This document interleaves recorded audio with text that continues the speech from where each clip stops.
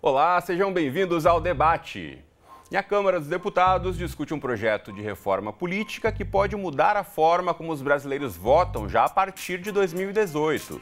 A proposta de emenda à Constituição prevê o chamado distritão. Nesse modelo, cada estado ou município vira um distrito eleitoral e são eleitos os candidatos mais votados. Não são levados em conta os votos para o partido ou a coligação. É criado um fundo com recursos públicos para bancar as campanhas dos candidatos. A PEC estabelece que a partir de 2022 seria utilizado o sistema distrital misto, uma mistura aí entre o sistema distrital e o sistema proporcional de lista fechada. Essa proposta é fruto das intensas negociações que foram feitas desde que a reforma política foi apresentada no Congresso. Bom, diante de tantas sugestões, o debate vai discutir aqui as diferentes propostas de reformas para o sistema político brasileiro. Contamos aqui no estúdio com a presença de Geraldo Tadeu Monteiro, cientista político e professor da Universidade do Estado do Rio de Janeiro. E também conosco aqui está o Jairo Pimentel Júnior, que é também cientista político e professor na Fundação Escola de Sociologia e Política AFESP de São Paulo. Obrigado aos dois pela presença, um prazer recebê-los aqui para tratar desse tema tão importante e também já trazendo informação aí de que para as regras, para as próximas eleições valerem, é, essa votação tem que acontecer e todas as regras estarem definidas até a primeira semana de outubro. Então já começo perguntando para vocês, uhum. essa discussão está acontecendo lá em Brasília e a votação tentando ser articulada às pressas, Jairo? Olha, faz quase três décadas que a gente discute reforma eleitoral. E o pessoal está querendo aprovar agora, no último mês, alguma coisa. E ah, tentando aprovar uma coisa que é contrário a tudo o que foi discutido nos últimos 30 anos, que é tornar a política menos personalista e mais partidária. Uhum. Com distritão ou semidistritão, como eles estão querendo aprovar, uh, a gente dá um passo atrás. Há um consenso dentro da academia. Eu fiz um, uma pesquisa junto a cientistas políticos, especialistas da área, que uh, colocaram de forma veemente que o distritão não é a melhor opção, porque ninguém votou no distritão né, da minha pesquisa como uma opção para essa reforma política. Apenas os parlamentares, mais especificamente a Câmara, tem interesse nesse modelo. Por quê? Ele favorece a reeleição de quem lá está e a gente sabe que uh, uh, há o interesse dessa reeleição porque há um escândalo de corrupção é, é, é, é, levando com que os deputados se mexam para garantir a sua vaga no, no, no, próxima, no próximo mandato. Geraldo, essa pressa se justifica, então a Câmara quer aprovar de uma vez, nem mesmo o, o Senado está tão interessado assim em aprovar essa proposta, né? É, porque o Senado já é, os senadores já são eleitos pelo voto majoritário, então para eles não, né, eles já, já são eleitos num distrito que é equivalente ao Estado uhum. através do voto majoritário. Para eles não muda nada, o que vai mudar é a forma de eleição dos, dos deputados e federais, estaduais e vereadores.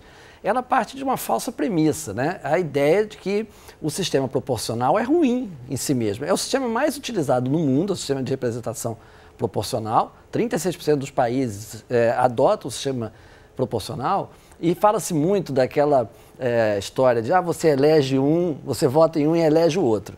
Esses casos são relativamente raros. Né? Se você pegar um universo a cada eleição municipal são eleitos 62 mil cargos, uhum. entre prefeitos, vice-prefeitos e vereadores. E os casos de puxadores de votos, estilo Tiririca é, ou o efeito Enéas, Tiririca que muitos falam, né? Sim, Quando isso... um, um candidato acaba levando muitos votos, acaba puxando a roda aí alguns outros para o mesmo partido. Mas isso não é a regra do sistema. É, ele, eu fiz uma, uma simulação, é, qual seria o, o resultado das eleições de 2014 com o Distritão. E na minha, na minha simulação, 91% dos eleitos é, pelo sistema proporcional seriam eleitos pelo sistema do distritão. Uhum. O que nos permite dizer que o sistema proporcional ele é bastante representativo. Uhum. Outro problema é que no sistema do distritão, os votos que forem dados aos candidatos derrotados serão simplesmente jogados fora, eles não entram em nenhuma conta. Ao passo que, quando você faz a eleição pelo sistema proporcional, praticamente todo voto conta, porque ele entra na lista, ele é usado para o cálculo das cadeiras. Então, há uma perda muito grande, né? e é, como disse o Jairo, é um, é um passo atrás, porque é, significa, na prática, o fim dos partidos políticos como entidades eleitorais.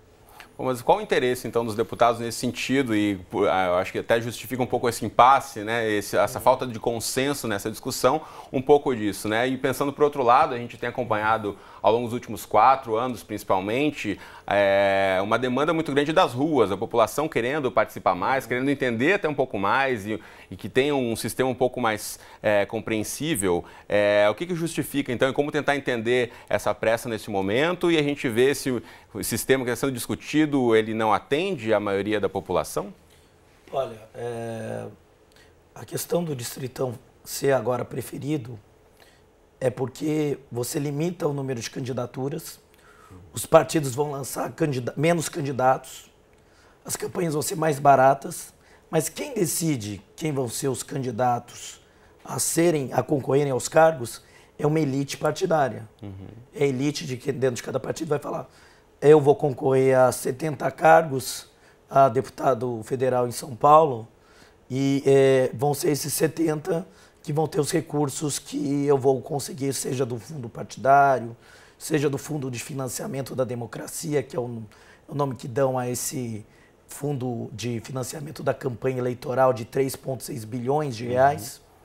Uhum. Uh, e isso afunila a disputa. Quer dizer, você coloca cartas marcadas para dizer quem é o, o, candidato do partido de fato, uhum. dando mais chances para aqueles que lá estão permanecerem e continuarem e fechando as portas para candidaturas avulsas, uhum. uh, candidaturas de menor expressão que podem concorrer e de repente ganhar a eleição dentro da lógica do, do, do que hoje da, do, do voto de lista aberta, que o voto do partido se transfere para outras uh, lideranças que estão disputando. Muito bem. Bom, além do plenário, duas comissões da Câmara podem votar relatórios sobre a reforma política. Em um dos colegiados, os deputados discutem uma proposta que acaba com as coligações nas eleições proporcionais e cria aí uma cláusula de desempenho, o que pode reduzir aí o número de partidos.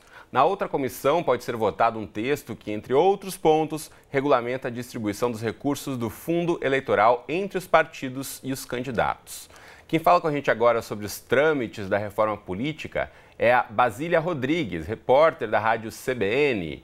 Basília, bem-vinda ao debate. Oi. Já começo perguntando a você como estão as negociações por aí nos bastidores, nos corredores em Brasília. Bem-vinda. Oi, muito obrigada e também olá para quem está acompanhando o programa. Bom, aqui nos bastidores, todo dia a gente encontra uma palavrinha nova na, na boca aí dos parlamentares.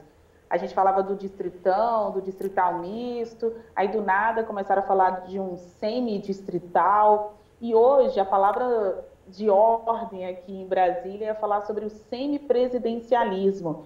Ele não está previsto nessa proposta de reforma política que está sendo discutida aí na Câmara, mas há um ou outro parlamentar de peso falando sobre o parlamentarismo e o semipresidencialismo, já com uma cláusula de transição começando em 2018. A gente já tem aí um, um arcabouço é, complexo de medidas que estão sendo discutidas na reforma política, mas não satisfeitos os parlamentares e, inclusive, um debate que vem do Palácio do Planalto, então ali os ministros e o próprio presidente Temer estão fomentando também aí essa discussão sobre sistema eleitoral quanto ao modelo que a gente quer para a partir de 2018, já agora, se é um presidente ou um parlamento ou os dois ao mesmo tempo.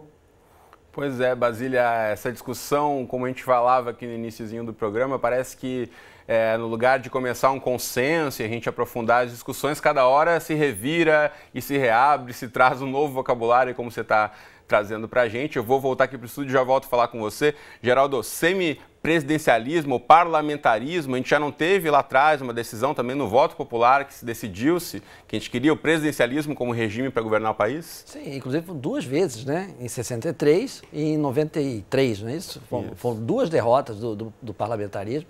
Eu acho que é é, é um indicativo de como essa, essa reforma política está sendo feita de afogadilho. Hum. Né? Eles estão correndo, por quê? Porque sabem que no ano que vem nós vamos ter. As pesquisas hoje estão anunciando que as, os eleitores, em média, estão na faixa de 25% a 30% dos eleitores vão votar nulo e branco. Eles declaram isso nas pesquisas. Então, esse é um, é um índice três ou quatro vezes maior do que foi o índice de votos nulos e brancos em 2014. Uhum. Então, há uma, uma indisposição, uma má vontade do eleitorado com esses políticos que estão aí. Então, eles estão procurando fazer todo o possível para se defender. Né? É, é, é, agora, vamos pensar o seguinte, um, sistema parlamentarista ele funciona com partidos fortes, né? partidos que garantem maioria, que o, o, o governo sai da, sai da Câmara. Né? A, a Câmara ela, ela, ela cria o governo. Então, ele não, não é separado. Né? O, a, a, figura do presidente é uma figura decorativa, pode ser decorativa, como é o caso da Alemanha, pode ser uma figura forte, como é o caso da França, esse é um modelo a ser, a ser definido. Né? Mas é, imagine que nós poderíamos ter sido governados por Eduardo Cunha. Ele era presidente da Câmara, ele tem voto dentro do Congresso Nacional, e se fosse um regime parlamentarista, havia uma possibilidade de, de Eduardo Cunha ser é, é, primeiro-ministro. Hoje, o Rodrigo Maia elegeu-se aqui no Rio de Janeiro com 55 mil votos. Ele poderia também, num regime parlamentarista, se tornar presidente do Conselho, primeiro-ministro, com 55 mil votos. Eu não sei se isso melhora a representatividade da classe política. Como é que você vê isso, Jairo? Olha, é, é, é, a gente pode pensar nessa lógica de que um candidato do, da Câmara Federal poderia ser um primeiro-ministro, algo assim, porque ele venceu a eleição dentro da Câmara mas a, a, dinâmica do parlamentarismo também coloca as eleições, antecipa um pouco as eleições do primeiro-ministro nas eleições para o Congresso, para a Câmara. Então, quando se lança os candidatos da Câmara, já se lança também o nome do primeiro-ministro que vai encabeçar. Uhum. Então, é, seria muito difícil a gente ver um Rodrigo Maia, um Michel Temer, presidente, é, primeiro-ministro do Brasil porque justamente é, é, no debate público, quando são lançadas candidaturas dos partidos no, no, para o parlamento, é que se define quem vai ser o primeiro-ministro de cada partido. Uhum. Então, na prática, como acontece na Inglaterra, quando tem a votação é, distrital para ver quem vai levar mais cadeiras e quem vai conquistar a possibilidade de indicar o primeiro-ministro, já se sabe de antemão quem vai ser o primeiro-ministro indicado. Uhum. Então é difícil com esses nomes que não têm apelo popular chegassem a ser primeiro-ministro. Só uma, uma, observação, isso, isso exige partidos muito fortes, muito disciplinados. Exatamente. Né? Porque existe ali uma, um nome, eh, em geral, é o líder que já é líder é, do partido. Precisa haver um consenso dentro é. do partido para que ele seja é. representante. Então é, é, preciso muita disciplina partidária. O parlamentarismo só funciona desse jeito. E não é o que a gente está vendo no Brasil. É. Na, uhum. e, e, muitos analistas colocam, eu concordo em parte, no Brasil a gente já tem um uma espécie de parlamentarismo. Uhum. Porque a, a, o presidencialismo de coalizão exige um esforço conjunto dos partidos para a manutenção de um presidente no poder. Uhum. Veja o que aconteceu com a Dilma. Como ela não teve uma base de apoio necessária mínima para reter o impeachment, ela sofreu um, praticamente um voto de desconfiança, que é o que acontece no parlamentarismo. Uhum. E o Temer hoje conseguiu barrar a investigação no STF justamente porque tinha essa base. Uhum. Então, o voto de desconfiança que existe no parlamentarismo, em certa medida, também já existe no Brasil, sobretudo quando se trata de investigações em relação ao executivo. Mostra quem tem um maior poder de articulação também, né, de conseguir ter uma rede de suporte maior. Agora, voltando a Brasília, quero chamar a jornalista Basília Rodrigues, que conversa com a gente, da Rádio CBN. É, Basília, é, a gente sabe que nessa discussão sobre a reforma política também tem sido levantado um alerta em relação à representação de minorias é, ou de outros grupos né, que talvez é, nesse novo sistema caso aprovado não sejam representados. É, por exemplo, o deputado é, João Willis é, de que forma isso tem aparecido também nas discussões nos bastidores? De que forma é, uma nova aprovação de uma reforma política pode simplesmente só reforçar a velha e já conhecida política com os velhos e já conhecidos personagens?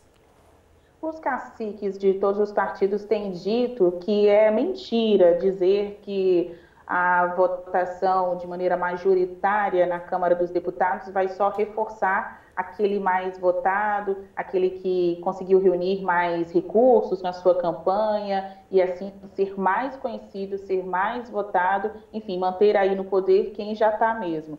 Quem está hoje lá na Câmara dos Deputados desafia esse discurso, diz que não é isso que vai acontecer, pelo contrário, vai ser é, privilegiado o voto do brasileiro, ele vai estar, de fato, votando em quem vai ser eleito para a Câmara dos Deputados. Há quem adote um meio termo, aí faço uma, uma ressalva nesse discurso, diz que é bom o voto majoritário na Câmara dos Deputados, porque acaba com aquela figura do puxador de votos.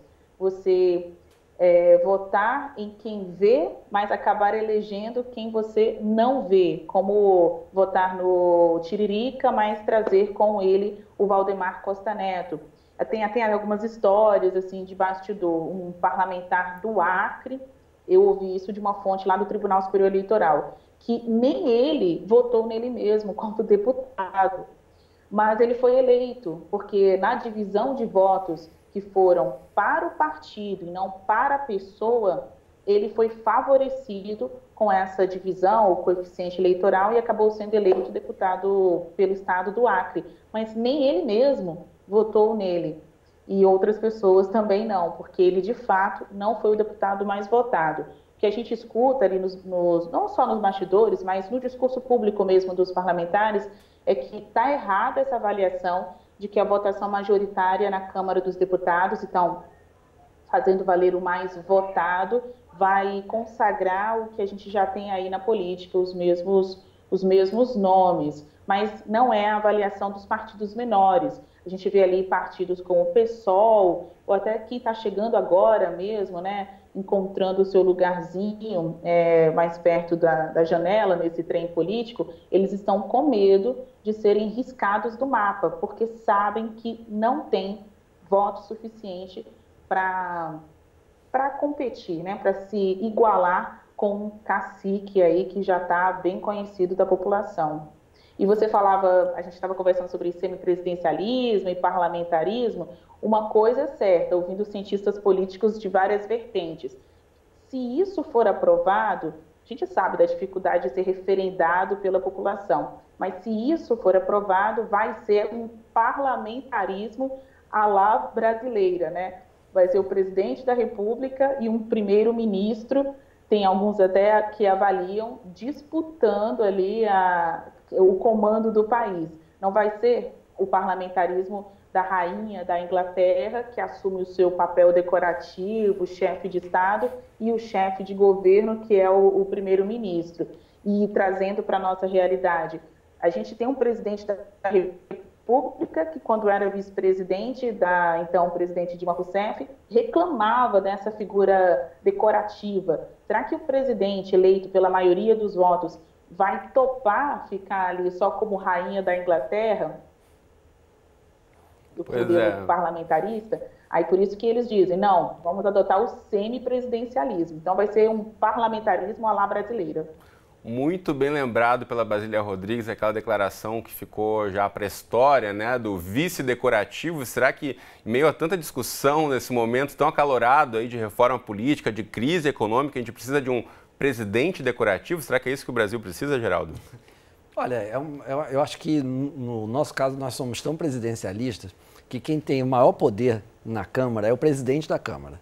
Se você olhar né, a, a, o, todo o poder que ele tem, segundo o regimento, né, então a gente tem uma tradição presidencialista, as pessoas entendem o sistema, elas sabem como lidar com, com esse sistema, e obviamente num país de dimensões continentais como o Brasil, uma, uma pessoa não pode virar primeiro-ministro com 55 mil votos, uhum. obviamente. Né? Ele tem que virar, ele tem que ser chefe de governo, chefe de Estado, que no caso o presidente, com 54, 55 milhões de votos.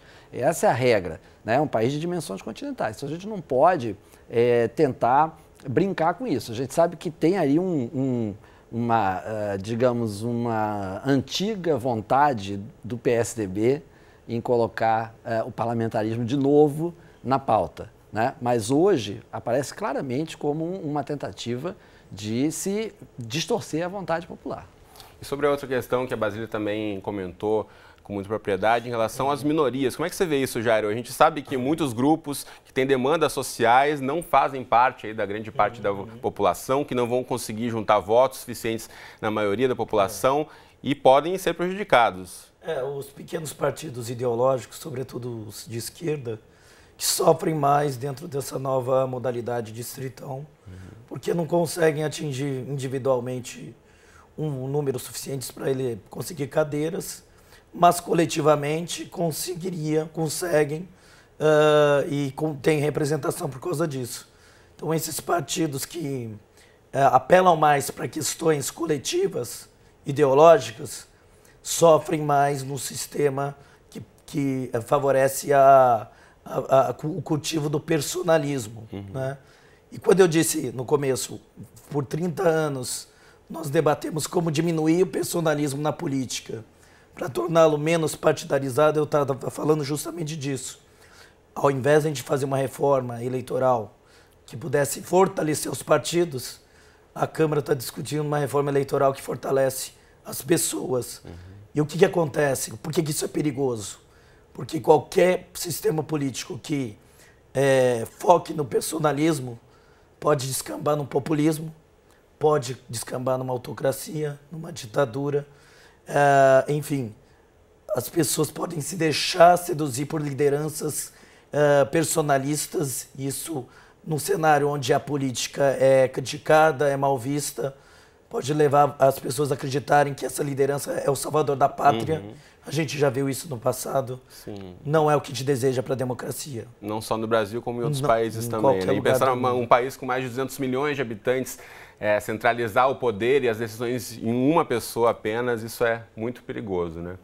Bom, numa entrevista polêmica ao jornal Folha de São Paulo, o deputado Lúcio Vieira Lima, do PMDB da Bahia, disse que o financiamento público das campanhas não é uma garantia de que não teremos Caixa 2.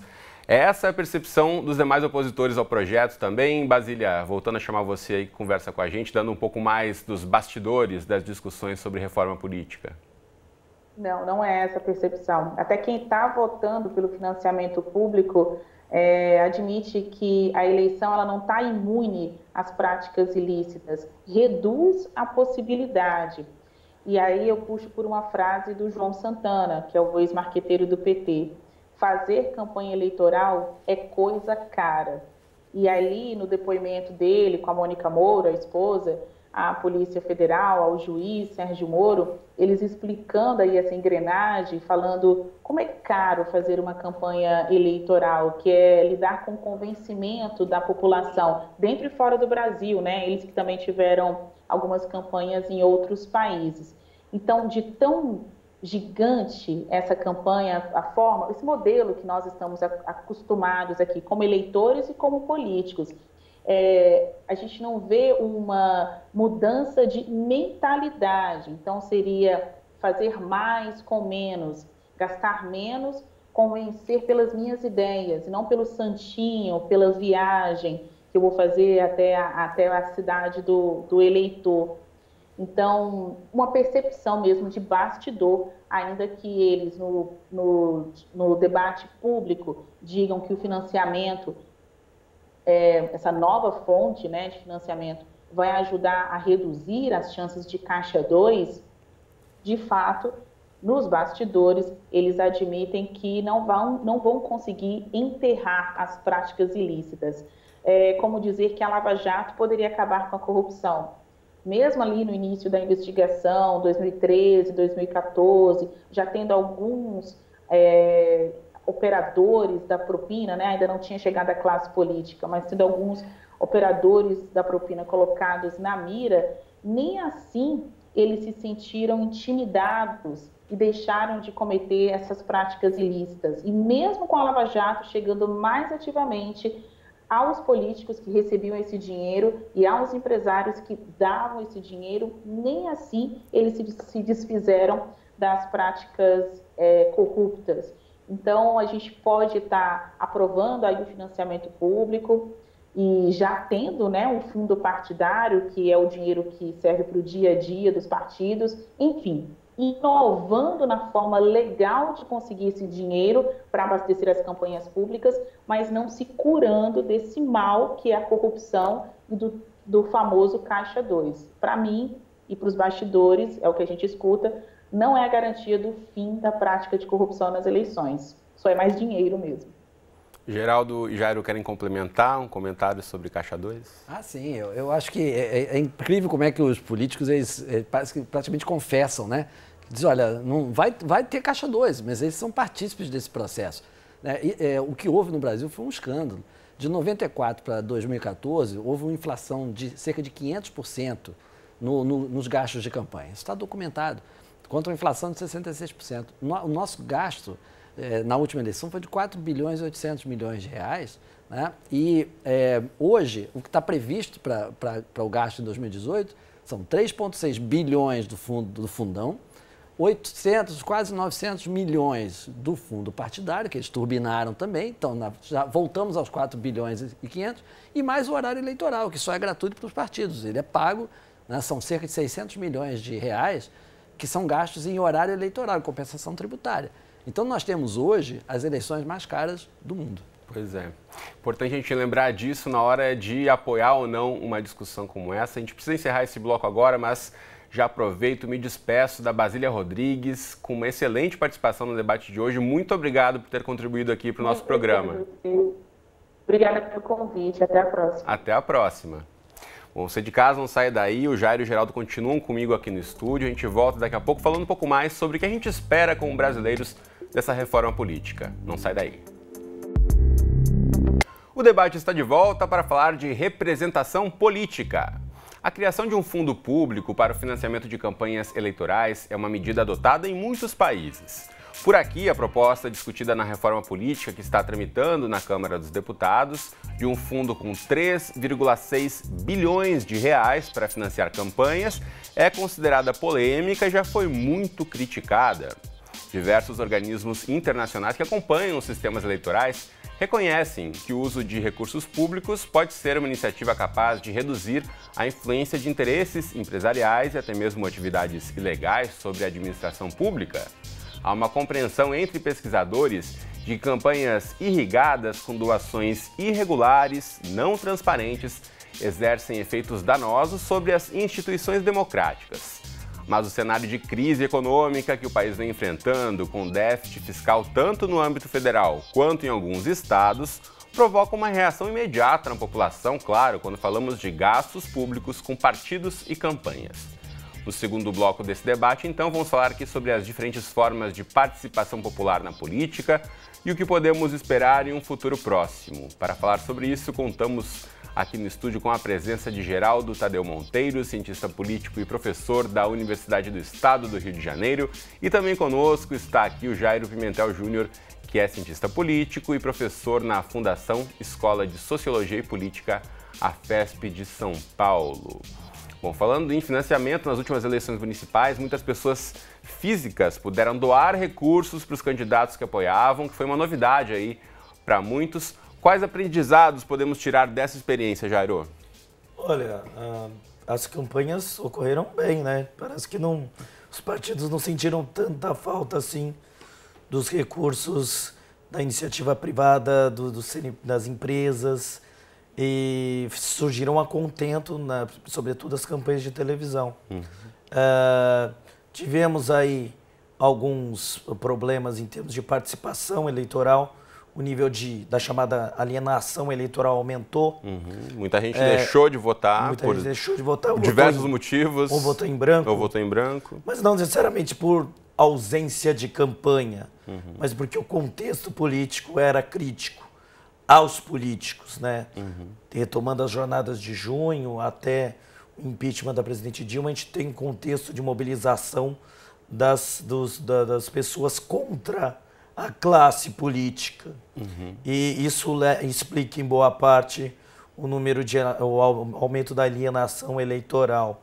Mas de uma forma geral, eh, comprovou-se em 2016 que a ausência de recursos eh, privados de empresas eh, não comprometeu de, de maneira alguma a, a iniciativa das campanhas eleitorais tivemos um sucesso eleitoral em termos de participação. Uh, e, e, enfim, isso nos faz questionar: será que precisamos desses recursos agora, desse uhum. fundo, para mobilizar para campanhas eleitorais de um, de um montante tão grande que poderia ser utilizado é, para outras questões, sobretudo num contexto de déficit orçamentário? Né? Será que precisamos gastar tanto com campanhas eleitorais quanto está sendo pedido? Eu acredito que não.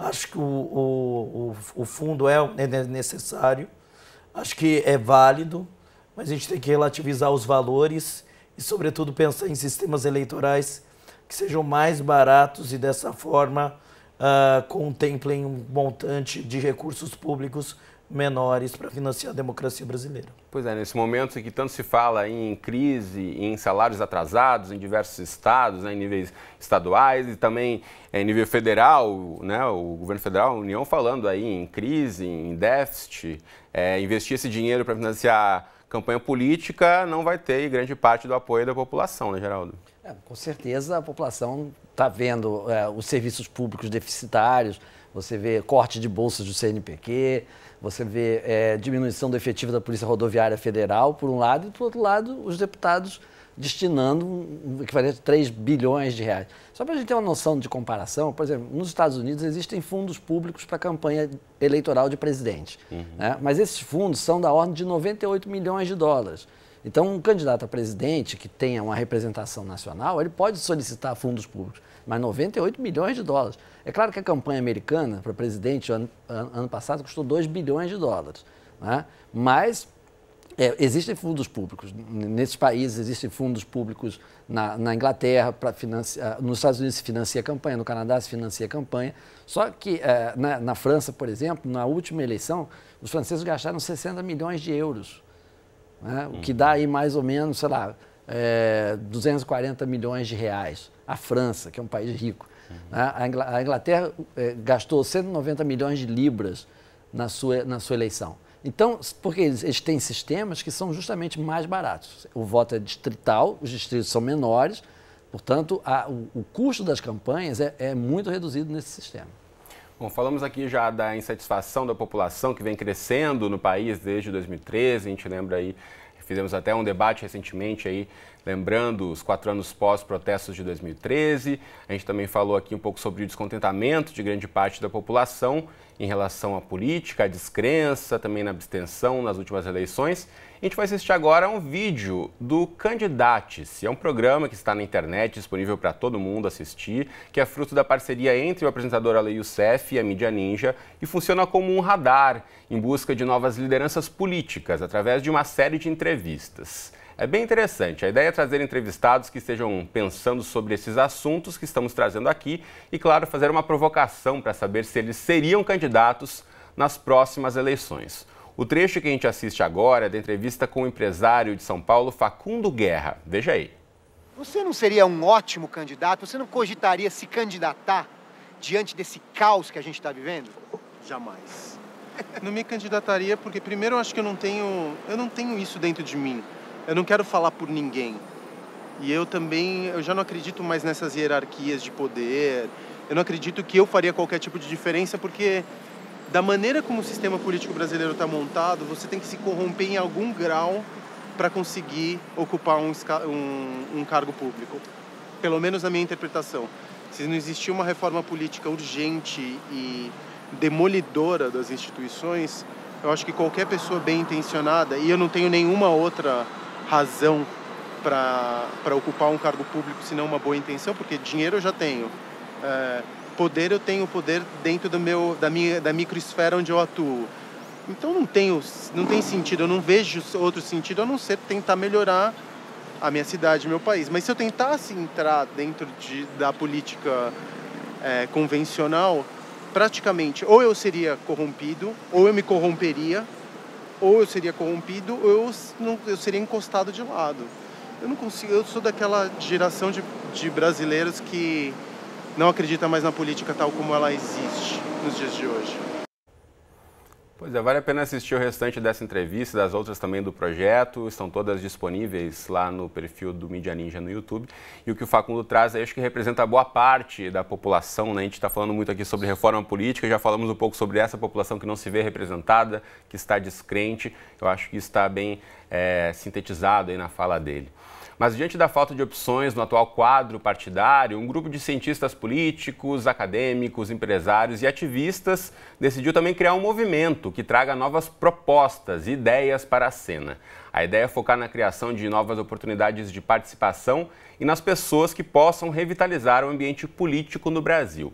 Desde então, o movimento intitulado Agora tornou-se um ponto de encontro para pessoas de perfis variados. O que as une é a vontade de dar uma nova cara política no país, baseada nos princípios de inclusão social, responsabilidade fiscal e modernização das políticas públicas. A gente conversa agora, então, aqui no debate com Humberto Laudares, que é um dos fundadores do Agora, sobre as propostas do grupo. Humberto, bem-vindo ao nosso programa. Como é que vocês pretendem, então, influenciar a política, mesmo sem ser um partido político? A gente ouviu há pouco aí a fala do Facundo, trazendo aí boa parte né, da população brasileira representada, eu acho, no que ele é, diz de não acreditar nesse sistema. Qual a proposta de vocês? Como vocês podem aí fazer a diferença? Sim, primeiro eu queria agradecer a oportunidade de estar aqui no Canal Futuro, é um prazer. É, o Agora, na verdade, é um movimento da sociedade civil que está vendo o cenário político aí bastante conturbado de um lado, por outro lado uma descrença, mas também uma radicalização muito grande da política e as pessoas sempre buscam é, soluções muito é, querem soluções fáceis, rápidas, mas de certa forma vai para uma radicalização gigantesca da política que é de certa forma perigosa aí no nosso entender. Então a gente propõe o um movimento da própria sociedade civil para se engajar numa discussão de uma agenda pública é, para ter impacto nessa esfera pública. Quando a gente fala esfera pública, não necessariamente na política institucional, pode ser no, no trabalho de cada um, nas empresas, na sociedade civil, mas também em algum momento todo mundo gostaria de servir ao público, seja como técnico é, ou não. E, obviamente, algumas pessoas teriam interesse em se candidatar e entrar na política institucional, porque é onde que a gente tem mais poder de influência, ainda mais no momento que as pessoas não acreditam nas, nas que estão aí. Bom, a gente vê em alguns casos é, jovens que entram para a política com novas propostas, acabam se adaptando às velhas formas de fazer política, né? O que, que precisa mudar? Como mudar, então, esses processos? Né? Muitas vezes a gente vê um grupo com boas intenções, mas frente ao sistema é, já institucionalizado que tem que acabar se enquadrando para conseguir fazer alguma diferença? É, esse é sempre o desafio quando o sistema tem incentivos perversos. E, e, uma coisa interessante do agora é que tem um conjunto de pessoas bastante experientes nas suas áreas é, de, de, de, atuação e, e que para fazer essa mudança no Brasil, que vai precisar fazer uma mudança institucional, ou seja, de leis, de sistemas, para a política ser pouco mais habitável, digamos, para pessoas que querem apenas atuar no ponto de vista de transformação da área pública, é, precisa de uma certa quantidade de gente. Não adianta você chegar sozinho no Congresso ou sozinho no partido político e falar, ah, eu vou fazer. Não, você precisa de um, pessoas que compartilhem desses valores e trabalhem juntos para essa transformação. É, por isso que, ao mesmo tempo, você tem um discurso muito fácil, radicalizado, você tem um, um, um, trabalho, um desafio muito grande de mudança institucional e isso demora um tempo, é um pouco mais médio prazo. É, mas sem pessoas com convicção de que esse é o rumo para o país, dificilmente sairemos do atoleiro que nos encontramos hoje. Humberto, eu volto aqui para o estúdio, já falo com você em seguida. Geraldo, o sistema político brasileiro é, tem espaço, ou como tem espaço, como criar espaço para iniciativas como agora e tantas outras da sociedade civil que querem contribuir mais para a política? Não, o espaço não está dado. O espaço tem que ser criado pela mobilização das pessoas, como é o caso aqui do, desse movimento agora é, de outros movimentos. A cidadania no Brasil é muito diversificada. A gente tem uma ampla rede de ONGs, de movimentos sociais, de canais de participação, desde consultas e audiências públicas até fóruns de discussão, conferências nacionais. Ou seja, há um, uma grande tradição já no Brasil de participação que não é só institucional. A nossa própria Constituição já prevê né, essa participação popular. Sim, você tem, você tem inúmeras oportunidades de participação, como até como o Facundo Guerra disse, né, ele, ele pode influenciar no dia a dia dele, na empresa dele, na cidade dele. Ele não precisa ser um político. Agora, ao mesmo tempo, nós precisamos que as pessoas de bem se candidatem. Né? E principalmente, acho que uma coisa que o Humberto falou, que eu, eu, eu destaquei, que as pessoas compartilhem valores. Porque hoje a política no Brasil é puramente pragmática. É negociação pela negociação, é cargo por, por verba, por apoio político. As pessoas não perderam a noção de valores. É preciso ter um senso ético e político para que a gente possa cobrar do, do, dos políticos. Olha, você tem posições públicas sobre tal assunto, né? você não pode sair fazendo negociação. Então, é importante que, para renovar, a gente pense que as pessoas de bem têm que entrar na política também, né, para preencher os postos institucionais, é, influenciar na legislação em cima de valores ou causas, é, promover valores. Bom, o Geraldo falou um pouquinho sobre ocupar os espaços né, que não estão dados, é, mas que podem ser conquistados. E tem aquela velha premissa, Jairo, você concorda de que se você não participar, alguém vai decidir por você? Né? É, a população precisa ocupar o espaço que é dado pela democracia, que é a capacidade de se fazer ouvir, né? uhum. né? seja no voto, seja nas manifestações, seja nas suas declarações junto às pessoas próximas. Não precisa ser uma macropolítica, uhum. mas na micropolítica, uhum. no dia a dia, como você se relaciona com o outro, como você vê o outro, também você está fazendo política. Política é uma coisa necessária talvez um mal necessário. Se a gente fosse bonzinho, a gente não precisaria de política. A gente não é tão bonzinho assim. Nós somos seres que temos posições positivas e negativas. E a política vem para acomodar as nossas negatividades, uhum. Dar espaço, neutralizar, um pouco. neutralizar institucionalizar, né? Mas as instituições ou a melhora das instituições não é o único caminho para melhorar a nossa democracia, uhum. para fazer o nosso sistema melhorar. Uhum. A gente precisa também de, de, que as pessoas façam parte disso. Uhum. Né? Uh, eu lembro aqui que, por exemplo, se a gente pensar em reforma política, o sistema distrital misto é lembrado por ser um sistema alemão de primeiro mundo, uhum. mas é utilizado também na Venezuela. O que, que, tem diferente Alemanha e Venezuela? A cultura política. Uhum. Então, a cultura política é fundamental para fazer um sistema funcionar. E não só apenas as instituições fazem as coisas funcionarem automaticamente. Né, esse ponto que você traz é fundamental que sistema algum, seja o que for, não vai mudar nada do dia para a noite, se não for a participação e a consciência política da população como um todo, nada vai mudar. Agora, voltando a chamar o Humberto para a nossa discussão, Humberto, a gente vê que assim como agora, a gente tem outras iniciativas, né? Também dando um exemplo aqui, a Frente Favela Brasil, que é uma iniciativa aí que é um dos representantes da Celso Taíde, pode ser um dos caminhos para a diversidade na representação política brasileira, a gente pensar em grupos que tenham suas pautas bem focadas, é, de minorias, é, tentando sair um pouco da questão dos consensos gerais que os partidos apresentam hoje em dia? É, a gente vê que essa é uma tendência, e mesmo agora, como em outros movimentos, como Acredito, frente uh, é, do, do, Partido da Frente da Favela, é, tenta ter a diversidade nos próprios movimentos. Isso é uma coisa fundamental, acho que está tá bastante inserida na, na, na, na nossa visão de mundo, eu diria. Só que aí a reforma política pode ter impactos grandes também. Por exemplo, vem um distritão da vida, é, como que vai ser essa, essa mesmo fundo que vocês estavam comentando de 3,6 bi, você vai dar aos partidos um cheque em branco para eles decidirem quem vão escolher. Dificilmente vão ter um foco muito grande em diversidade, vão escolher os inchas ali dos, dos caciques partidários e colocar recurso pesado nessas candidaturas. Então, assim, do ponto de vista dos movimentos da sociedade civil, eu acho que tem uma preocupação muito grande com diversidade, e ela é importante e bem-vinda.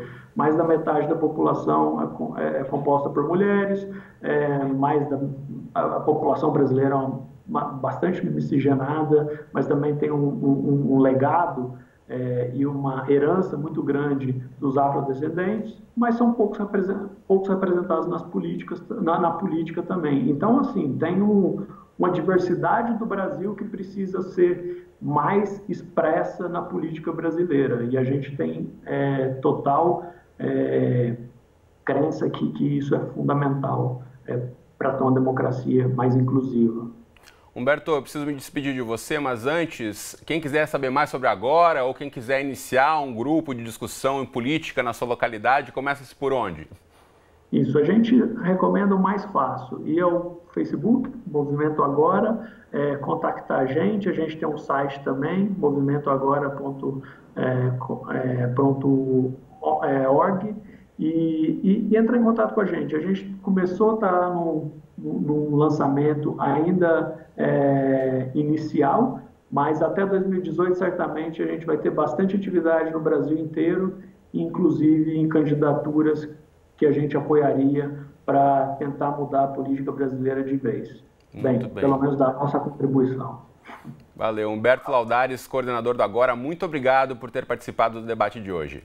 Obrigado a vocês. Valeu. Bom, assim como essa iniciativa, tem tantas outras Brasil afora que estão tentando aí mudar um pouco e fazer as pessoas saírem da sua zona de conforto, né? A gente sabe que os projetos de lei de iniciativa popular previstos desde a Constituição de 1988 têm crescido também com efeito mobilizador das redes sociais, facilitando o recolhimento de assinaturas. O autor do projeto Voto Limpo, cadastrado na plataforma Mudamos, o advogado Marlon Reis, é experiente no assunto, tendo sido aí um dos idealizadores da lei da ficha limpa. Então, para falar um pouquinho sobre os trâmites para aprovar uma lei e o distanciamento entre as discussões do Congresso e os desejos da nossa população, a gente fala com ele agora. Marlon, bem-vindo ao debate. Quero que você fale um pouquinho para a gente já, para iniciar nosso papo, no que consiste esse projeto Voto Limpo. Opa, boa noite. É, o projeto Voto Limpo, ele se baseia na experiência que o movimento de combate à corrupção eleitoral tem de aperfeiçoamento das regras eleitorais. A primeira lei de iniciativa popular do Brasil foi aprovada em 99, a Lei 840. E era a famosa lei contra a compra de votos, que já permitiu a cassação de mais de mil políticos desde então. É, inclusive seis governadores de estado, com esse último do Amazonas, que foi cassado com base na lei de iniciativa popular. É, então, é, nós avançamos nessa experiência do combate à compra de votos e queremos agora combater outra prática que é igual, está dentro do contexto e, e é, talvez seja até mais perniciosa que a compra de votos, que é a compra do apoio dos líderes. Em vez de você obter o apoio do líder por razões políticas, você obtém mercenariamente. E hoje existe um leilão político nisso, um leilão, um mercado de venda de apoio, isso é um dado real, eu detectei isso em pesquisa sociológica para minha tese doutoral. Existem muitos estudos sobre isso. A justiça é, é, tem poucos elementos para tratar desse assunto. E muitas vezes casos concretos de compra de apoio político deixaram de ser punidos por falta de uma legislação adequada. Então, a isso que se refere o, o projeto. Muito bem, quero trazer esse ponto aqui para o estúdio. Já volto a falar com você, Marlon. Agora, Geraldo, essa questão, é, a gente falava ao longo do programa, né, sobre a necessidade de uma coalizão, de você ter maioria. Isso passa também por essa, esse convencimento aí, por essa compra, muitas vezes, de um apoio político e desconstruir essa lógica. Isso também é fundamental para a gente mudar esse sistema eleitoral, né? É, eu acho que o que é muito evidente é que nós construímos um sistema que funciona à base de dinheiro, né? à base uhum. de grana, vamos dizer assim. Né? É um sistema que, desde o do processo eleitoral, ele é alimentado por dinheiro né? e ele segue alimentado por dinheiro, como as investigações da Lava Jato têm mostrado. Uhum. Não é porque é ano eleitoral. Em anos não eleitorais, a corrupção continua acontecendo, porque é, há um sistema de. é um grande mercado de compra e venda de apoio político e, e, e realmente a gente precisa quebrar Grande parte da população ficou conhecendo com os nomes aí de mensalão, né, de Sim. Lava Jato, essas contribuições em dinheiro para você conseguir aprovar o que você quer. Né? É, então, a gente precisa quebrar esse ciclo, como a gente fez com a, a ação direta de inconstitucionalidade que proibiu as doações por empresas privadas. Foi uma grande vitória porque a gente conseguiu quebrar essa lógica do dinheiro fácil das empresas, né, uhum. né, que a, as investigações da Lava Jato estão mostrando quão perniciosa era essa, essa é, iniciativa. E, e é, em outras áreas, como compra de apoio de cabos eleitorais, lideranças políticas, é preciso também avançar nessa área. Bom, a gente sabe que antes de serem aprovados, os projetos de lei de iniciativa popular são apreciados pelos nossos legisladores. Então, voltando a chamar o Marlon, como é que foi a experiência com a lei da ficha limpa, que é tida aí por muitos como uma das leis que pegou, né, Marlon? Pois é, a, a lei da ficha limpa, o, o êxito dela é, está totalmente atrelado à forma como ela foi conquistada, porque nós já tivemos muito retrocesso na legislação. É, seria muito difícil aprovar a lei e se ela tivesse sido aprovada por algum motivo, de outra forma, sem essa iniciativa, sem essa grande mobilização popular que aconteceu, ela já teria sido alterada há muito tempo. Ora, estão tentando já, já estão pensando em modificar a Constituição para dar um passo atrás e retornar as doações empresariais. Né, mudando, eles já, já pensam isso, imaginem o que teriam feito com a lei da ficha limpa. Né? Então, essa, a forma como ela foi conquistada é que é a sua maior proteção. Como é que você vê esse tipo de iniciativa, Jairo? A gente pensar também em mobilização de iniciativas é, que a população se faz é, ou uhum. se sente mais parte também, né? É, acho fundamental. Acho que uh, a ficha limpa é um exemplo disso. Existem outras iniciativas também fundamentais. E acho que isso poderia ser aplicado numa reforma política.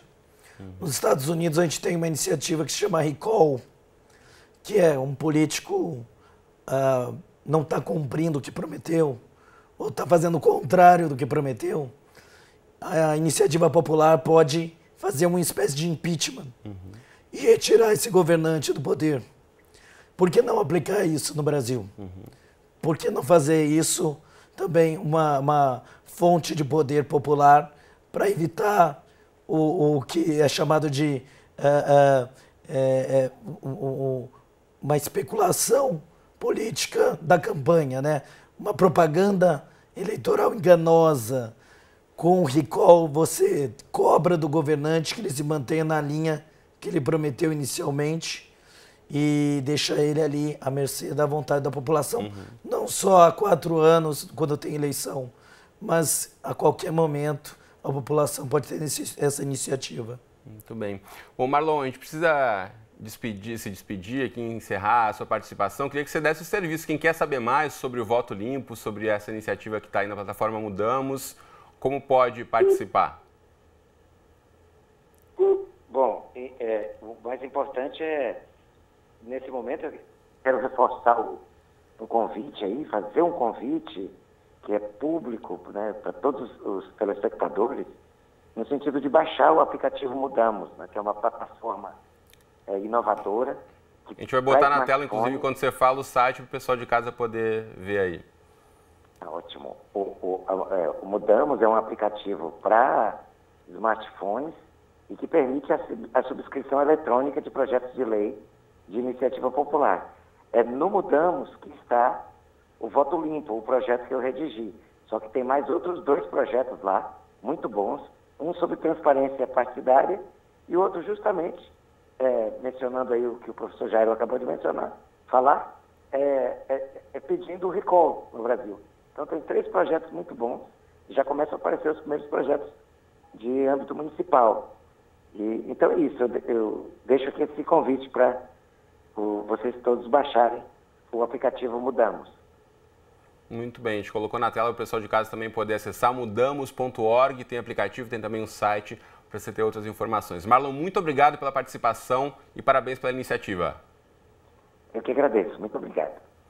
Bom, a gente está já chegando nos minutos finais do nosso debate de hoje. Queria conclusões de vocês, a gente está aí no meio né? Parece que fervilhando nesse caldeirão com tantas discussões que parece que é infindável, mas tem que chegar em algum momento né, num consenso. A gente espera que essa discussão avance mais aprofundada aí, e que você de casa tenha também refletido a respeito. Agora a gente está caminhando para onde, pelo que você sente, é, Geraldo, dessa nossa discussão? Já falamos aqui de diversas vertentes sobre participação popular, sobre sistema eleitoral. O que, que a gente pode esperar, talvez, para as eleições de 2018? Olha, o debate ainda está em curso, né? É muito difícil a gente imaginar qual vai ser o resultado. Uhum. Eu, pela experiência que tenho nisso, né? o Jair falou, há 30 anos nós estamos discutindo isso, eu tendo a achar que eh, eles vão deixar tudo como está para ver como é que fica. Uhum. Né? Aquele velho ditado. Uhum. Né? Porque, é, por exemplo, no, no, caso do Distritão, pela minha, pelas minhas contas, seis partidos sair, sumiriam da Câmara. Esses partidos, obviamente, não vão votar pelo Distritão, né? porque seria passar a faca no, no próprio pescoço. Né? Então, tem, é, prova muito provavelmente, no, no, no frigir dos ovos, nós vamos ter uma, uma manutenção do sistema atual, né? talvez com alguma é, alguns aprimoramentos. A questão do fim das coligações, a cláusula de desempenho, porque não existe no mundo um país que tenha tantos partidos representados na Câmara como o Brasil. Aqui nos nossos vizinhos, eles têm quatro, cinco, seis, sete partidos na Câmara. O Brasil tem 25, 20, 28. Uhum. Isso muda, né? Porque eles mudam de partido também, né? É. Então, 28, 27 é muito partido. Então a gente, agora, eu acho que uma reforma política é um, assunto muito sério para ser discutido dessa maneira, com casuísmos, né? Tem que ser uma reforma que vá ampliar a participação, a representatividade do sistema, né? E a sua governabilidade também. Eu acho uhum. que a gente uhum. tem que estar preocupado com esses, essas variáveis. Jairo. Olha, pedir desculpa porque eu estou afônico, né? Tô esse tempo todo mudando aí, mas uh, eu vejo que, o pelo menos, a gente serviu para a gente debater um pouco essa questão da reforma eleitoral e colocar na opinião pública temas que são relevantes. Né? Uhum. Uh, mas eu acho que a principal reforma vem da população. A uhum. população pode tirar quem está lá fazendo sacanagem, fazendo corrupção, e é papel dela fazer isso, independente de qual sistema eleitoral vai ser utilizado. Uhum é, tomar as rédeas da democracia neste momento talvez seja o principal. E, uh, independentemente do sistema, uh, eu acredito que qualquer um que seja implantado, se não houver essa tomada de posição da população, não vai fazer muita diferença. Sem dúvida. Então, é, é por aí. Muito bom. Bom, Jário vai tomar uma aguinha agora. Obrigado mais uma vez pela participação. Obrigado. Geraldo também mais uma vez aqui com a gente no Futura. E fica essa provocação, como o Jário disse, de nada adianta a gente discutir aqui os políticos lá em Brasília se você aí também não parar para levar mais a sério a política brasileira, trazer essa discussão para sua roda de conversas em casa, com os amigos, com os familiares e também participar mais da nossa democracia. Fica essa provocação. O debate de hoje fica por aqui. Você pode conferir esse e outros episódios do nosso programa lá no Futura Play. Um abraço para você e até a próxima.